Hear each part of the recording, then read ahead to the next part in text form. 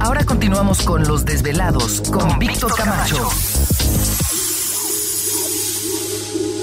Así es, estamos de regreso en el programa de Los Desvelados. Saludos a todos ustedes por ahí en la chamba, échele ganas, no se nos duerman, las líneas siguen abiertas. Es el 562-904-4822 de la República Mexicana, 01800-681-1847. A través de las redes sociales nos localizan en Twitter bajo Los Desvelados, en Facebook Los Desvelados, Víctor Camacho.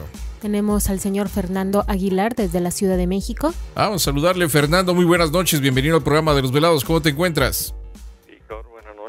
Gracias. Buenas noches, Fernando. ¿Qué dice todo por allá? Pues todo bien, gracias. Qué bueno. Es desvelándose un ratito, ¿verdad? Tantito, nada más. Ah, pues qué tanto. programa. No, pues muchas gracias, Fernando. Y platíquenos en qué podemos servirle. Mire, hablo para comentarle mi experiencia a través de, de ver eh, el programa en el canal 28 sobre arqueología prohibida. Ah, ok. Entonces lo, lo miró el domingo pasado. Claro que sí, estuve eh, a la expectativa desde que escuché que iban a pasar ese programa. Claro. ¿Qué, qué le pareció? ¿Qué, ¿Qué comentarios tiene al respecto? La verdad, podría decirle que insólito. Es algo sorprendente, pero dentro de mi ser yo creo que desde mi niñez eh, he traído en mi mente todas estas ideas de que somos hijos de la tierra, así somos hechos del polvo, pero con polvo de las estrellas. Ok, ok, entonces que pudo haber alguna intervención, ¿no? Sí, definitivamente, o sea, el color de nuestra piel, nuestra idiosincrasia, tantas, tantos vestigios así en diversas partes del mundo nos hacen ver que a lo largo del tiempo, no de una creación de periodos de X miles o millones de años, pero la Tierra ha sido visitada por diversas criaturas de, del espacio. Y esto es, la verdad, una confirmación de, de lo que yo tenía. La verdad eh, me volvió a la vida el interés y saber que un grupo de personas así investigan estos hechos y, y de veras siento ansia de, de participar en ello, de explorar, de, de, saber más de ese conocimiento que nos pueden aportar aquellos que, obviamente, su tecnología y, y todo lo que trae consigo esto, aunque nosotros nos veamos, así le puedo decir, en Egipto y en muchas partes como esclavos, creo que dejaron su conocimiento. Claro. En Yucatán, en Egipto, en la India, en todas partes donde han estado, han dejado parte de sus conocimientos. Claro, y bueno, en esta ocasión, pues estas piedras podrían ser una nueva biblioteca, ¿no? De, de piedra con información de ellos, posiblemente. Definitivamente, toda esa información que podríamos decir, como en los Estados Unidos, se está desclasificando, se nos está permitiendo ver, porque durante mucho tiempo nos han dado pan y circo solamente fútbol y solamente novelas, eh, novelas, telenovelas. Eso no, no enriquece ni el espíritu, ni, ni el conocimiento, ni la verdad, lo más hermoso del hombre que podríamos decir, su inteligencia, su, su pensamiento, su creatividad. Así es, así es, nos tienen idiotizados, ¿no? Pero bueno, desafortunadamente es parte del sistema en el cual vivimos pero pues agradecemos esta oportunidad que nos dieron de poder eh, transmitir esta información que eh, a, nosotros se nos hizo muy interesante que muchos de ustedes pudieran mirar y, qué bueno que tuvieron la oportunidad de hacerlo, Fernando. Y creo que existen mucho más cosas que aún están por aparecer. Claro. La verdad que somos tan pocos los que nos atrevemos a expresar es eh, esa intuición, eso que nosotros creemos, porque pues la mayoría de la gente, como en la antigüedad, ahora piensan en locura, en insensatez o, bajo cierta doctrina que esto no debe de ser más que aquello que nos enseñan. Claro, claro. Pues imagínate, pues son 500 años de programación de esa forma, pues va a ser muy difícil que esto de un día para otro pueda cambiar, ¿no? Pero por lo menos las personas que están listas o tienen este interés, como tú mencionas, intuían algo eh, o necesitan nada más un empujoncito para seguir buscando, pues yo creo que eso es lo que básicamente estamos eh, tratando de hacer, ¿no? Víctor, no sabemos o no sabíamos dónde. La verdad es que normalmente nos ponen piedras en el camino, nos desvían, nos niegan, nos dicen que no existe, inmediatamente que se crea una teoría, sale otra más por encima de nosotros, eh, de parte de las autoridades, así entre comillas, para desmentir ese hecho y decir que, que no es cierto, que son hallazgos que se están estudiando para hacer a un lado. Claro, claro. Pues lo importante es dar un primer paso, yo creo que ya se dio este primer paso y, y pues agradecerte Fernando, qué bueno que lograste mirar esto, gracias también por pasar la voz y avisar a otras personas y que esto pueda empezar eh, a despertar ese interés por este tipo de, situaciones que estamos viviendo, ¿no? Hay muchos libros en la actualidad y obviamente tenemos internet que sabemos que no todo lo que dice es cierto, pero lo que es evidente, así los libros de Secharia Sitchin y otros como él que han abierto los ojos a, a vislumbrar que nosotros no somos pues una evolución, sino más bien hemos sido la creación de un ser superior. O la intervención, y hemos sido intervenidos, ¿no? Por seres posiblemente superiores. Pues hay mucha tela de donde cortar, este Fernando. Yo te agradezco muchísimo por, por estar con nosotros, compartir este documental con tus seres queridos, y bueno, pues esperemos de que esto sea el primer paso de muchos, de muchas eh, informaciones que podamos compartir con ustedes vía este, televisión. 562-904-4822, nuestra línea telefónica en la Unión Americana, República Mexicana, libre de costo, 01800-681-1847. Continuamos con Raúl Correa desde la Ciudad de México. Ah, vamos a saludar a Raúl. Raúl, muy buenas noches, bienvenido al programa Desvelados. ¿Cómo te encuentras, Raúl? Muy bien, muy buenas noches, Víctor. Buenas noches, Raúl. ¿Qué dice? ¿Todo bien? Todo perfectamente bien, sobre todo el documental que vi el domingo pasado es extraordinario, es una eh, forma de que la historia va a cambiar.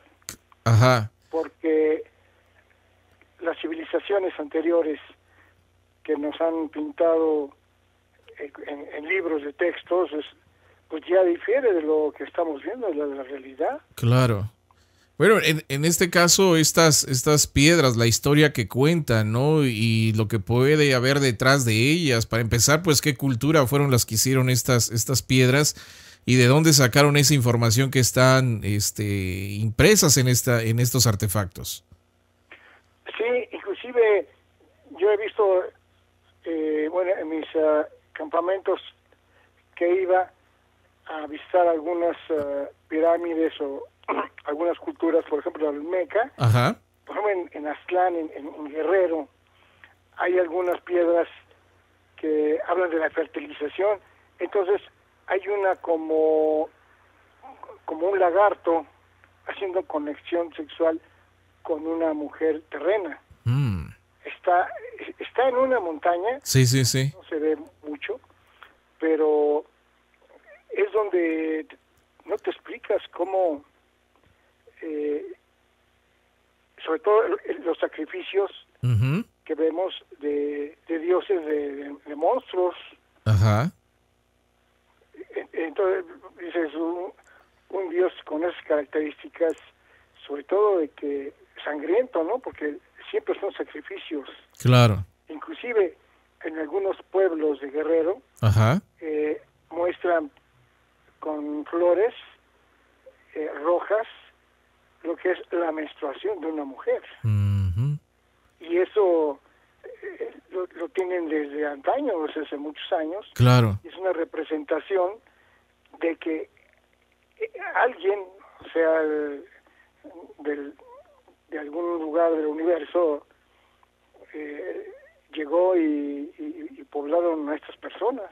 Claro, sí, ¿no? De, ese tipo de, relación que pudo haber habido con seres extraños para nosotros, pero eh, que pudieron haber eh, alguna manera eh, modificado al, al, humano que primitivo que hubiese en ese entonces en el planeta, ¿no? Yo creo que es algo muy interesante Y, pues agradecerte, eh, Raúl, que tuviste la, oportunidad de mirar esto, te agradecemos muchísimo y sobre todo que, que, pudiste checar la información, que es algo importante para nosotros, que ustedes pudieran ver esto que estábamos presentando a través del documental de Arqueología Prohibida. Vamos a tener que hacer nuestra pausa, pero regresamos para seguir platicando con ustedes en esta noche en el único y original programa de Los Desvelados. Para seguir escuchando más historias como estas, no le cambies porque Los Desvelados con Víctor Camacho ya regresan. Así es, continuamos aquí en el programa de Los Desvelados. Saludamos a todos ustedes que están en este momento manejando. Manejen mucha precaución, abrochen su cinturón de seguridad, es importante eso. Por supuesto, las líneas siguen abiertas. Es el 562-904-4822 de la República Mexicana, 01800-681-1847. A través de las redes sociales nos localizan en Twitter bajo Los Desvelados, en Facebook Los Desvelados, Víctor Camacho. Tenemos a Vicente Morales desde la Ciudad de México. A Vicente, muy buenas noches bienvenido al programa de los velados. ¿Cómo te encuentras? Sí, muy buenas noches. Bien, bien, aquí estamos. Qué bueno, nos da gusto saludarte, Vicente, desvelándote un rato, ¿verdad? Sí, sí, así es, pero gusto. Ok, pues perfecto, nos da gusto eso. Este Vicente, y dinos en qué podemos servirte. Ah, mira, solo para lo del programa. Ajá. Eh, que es excelente. Eh, la tengo que decir que hasta se pasaron informaciones. ¿Por qué? Porque bueno, porque es algo, sí, realmente que como que fue mucho, ¿no? Ajá. Pero realmente, pues para nosotros estuvo muy bien. Mira. Excelente el programa, ¿eh? Pues eso es lo importante, de que les haya gustado y que la información pues sea importante para ustedes también. Sí, sobre todo que eh, nos abre los ojos, ¿no? Porque ya ves que te pero no a tanto como lo hiciste tú. Ajá. Entonces, pues sí, eso es este pues es algo algo bueno, ¿no? Estar siempre, eh, eh, bueno, estoy viendo que ya ves que en la escuela te dicen las cosas y Ajá. a través de la vida vas aprendiendo otras cosas, ¿no? Que, te, hacen, te hacen mejor persona. Claro. Claro, Vicente, pues qué, qué, bueno, qué bueno que lograste mirarlo. Eh, ¿Lo miraste solo o con eh, familiares? ¿Pasaste la voz? Sí, bueno, les dije a varios, ¿no? Y aquí con mi esposa. Ajá. Este, estábamos en el documental. Mira. Y no, pues excelente, excelente. Qué bueno. Qué bueno, pues nos, nos gusta mucho eso, Vicente. Qué bueno que, que, les gustó, que les entretuvieron un rato y sobre todo que la información pues eh, es importante para ustedes eh, a través de, de, este programa que se presentó el domingo pasado. Y agradecemos mucho a todos nuestros desvelados que nos hicieron el favor de, mirar el programa, desvelarse un ratito y, sobre todo con la familia, ¿no? Que a veces no están acostumbrados a desvelarse, pero les agradecemos mucho a, todos ustedes que pasaron la voz, que invitaron a alguien a mirar esto y, que también pues lo miraron en familia. Muchísimas gracias, realmente apreciamos muchísimo ese, ese esfuerzo y, y bueno, pues esperemos seguir dando más información interesante para todos, todos, todos ustedes. Y bueno, agradecemos a todos los desvelados que estuvieron al pendiente del documental, que pasaron la voz y sobre todo lo bonito que también se pudo este, ver en familia. Eso es lo más importante. Pasen la voz y recuerden que tenemos una misión, pasar la voz del programa en el país que usted se encuentre. Pásele, envíele la página para que entre directamente y escuche de qué se trata y bueno, pueda ser un nuevo desvelado. Así que ya tenemos también una misión y muchísimas gracias por el apoyo y por los saludos y por las felicitaciones que han estado dando referente a lo que es este documental. Eh, Hugo Mor, no sé cómo se apellide, pero bueno, dice Víctor, buenas noches. Eh, ¿Cómo podría ver nuevamente el documental? Eh, no tuve oportunidad de mirarlo, así que gracias por su atención. Excelente programa, saludos pues vamos a ver si lo pueden repetir de repente, ¿no? Pero pues es cuestión de que ustedes, ustedes también soliciten eso directamente al, al canal. También saludamos a Marily Blaines. Dice Víctor, muchas felicidades por el programa. La verdad se ve eh, otra expectativa de cómo fue realmente el desarrollo de la humanidad. Eh, fue poco tiempo lo del documental. En, eh, en verdad, qué misterio guardan esas imágenes. Eh, Víctor, tengan un programa en televisión, es muy impresionante. Gracias, Mara de Naucalpan. Muchas gracias, Mara, te agradecemos muchísimo.